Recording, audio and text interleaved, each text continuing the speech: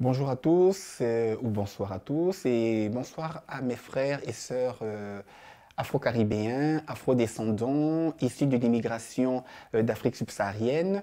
J'ai envie aujourd'hui de vous entretenir sur deux choses très importantes. Ces deux choses qui vont nous permettre tous ensemble de pouvoir aussi participer à la fin de l'épidémie.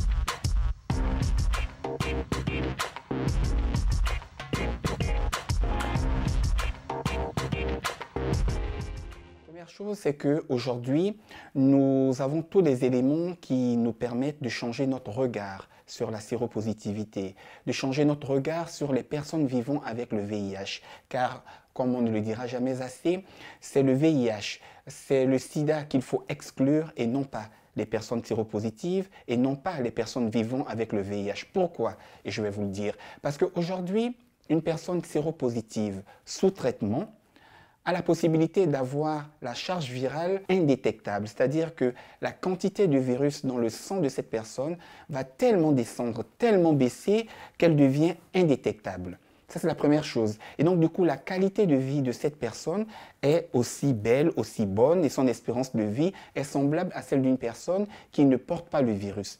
Et la deuxième chose, qui est aussi importante que la première, c'est que cette personne vivant avec le VIH, avec une charge virale indétectable, n'est plus contaminante. C'est-à-dire que cette personne-là ne peut plus transmettre le virus. Et donc, si vous me demandez alors finalement qu'est-ce qu'elle peut transmettre, je vous dirais tout simplement, elle ne peut transmettre que l'amour. Parce qu'aujourd'hui, une personne vivant avec le VIH n'a qu'autre chose à vous transmettre, c'est l'amour.